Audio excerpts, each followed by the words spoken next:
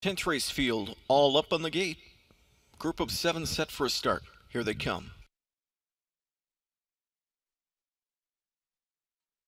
They're often pacing Frontier Sealster with big speed from out in post six, going four and up to grab that early lead. Coming out with that one is Dream Fair BJ. Then inside to Fancourt from in third. Yogi Bayama took back into fourth, battling into the opening turn. Jameson outside with Frontier Sealster was in a wrestling match there with Dream Fair BJ. Flat back with him. Dream Fair BJ wants to chop it out.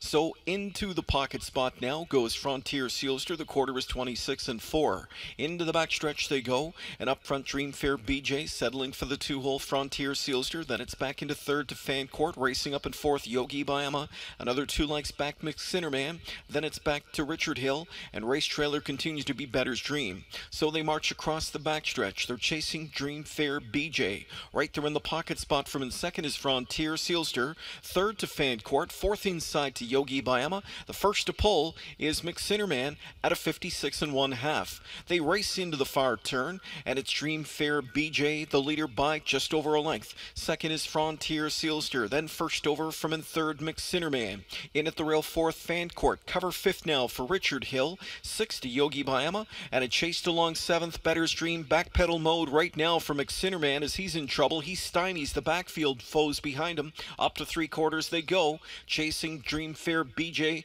Frontier Sealster plugs are pulled from the pocket spot as he gets set to breathe some fire. Three quarters in 124 and 2 and they're into the stretch now. Dream Fair BJ confronted now by Frontier Sealster, who strikes the front and puts away Dream Fair BJ. Launched off the rail comes Fancourt now with late pace Fancourt coming on.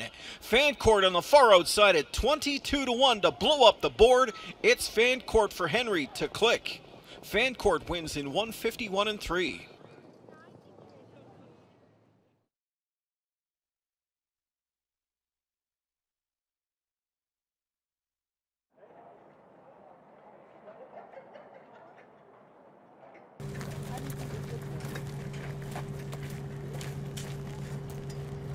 All right, guys, we can hear.